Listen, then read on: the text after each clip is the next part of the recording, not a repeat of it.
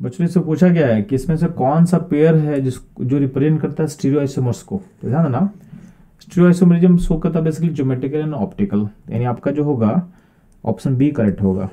तो ज्योमेट्रिकल और optical isomerism basically इसको हम बोलते हैं स्टीरियो आइसोमर का पार्ट बोलते हैं। ठीक है? तो इसका आंसर बी होगा। तो बच्चों ये था इस क्वेश्चन आंसर मूव करते हम लोग नेक्स्ट क्वेश्चन पे।